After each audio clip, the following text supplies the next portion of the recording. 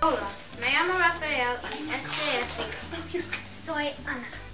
Somos alumnos de español aquí en PCS. We are here, here to welcome you to the Mexico Marketplace. We're going to give you a quick tour of Mexico and help you learn some Spanish along the way. First, let's say welcome to Mexico. Bienvenidos, bienvenidos a los Estados Unidos Mexicanos. Through the centuries, Mexico has been inhabited by Teotihuacans, Toltecs, Aztecs, Spanish conquistadors, and even the French.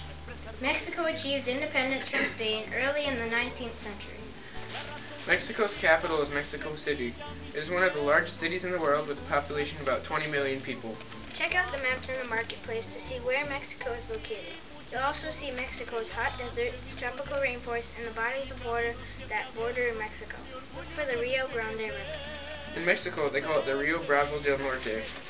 The Mexico people are known for their kindness and hospitality. In Mexico, to say hello friend, you say hola amigo.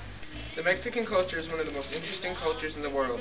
In the marketplace, you'll learn more about Mexican art by doing one of the crafts like yarn painting, which is called cuadros estambrados. You can also make Mexican paper flowers, which is a tradition that was originally brought to Mexico from East Asia.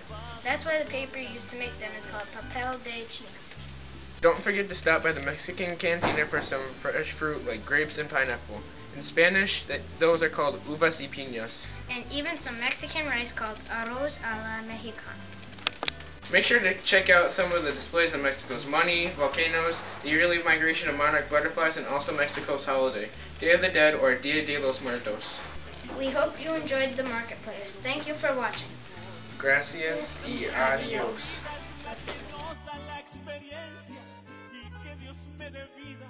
Para verte triunfador. Doy gracias a la vida por todo lo que me ha dado. El fruto de mis luchas, causa del más puro amor. La razón de mi vida, mi semilla, mi cimiento, mi muchacho travieso, mi basta.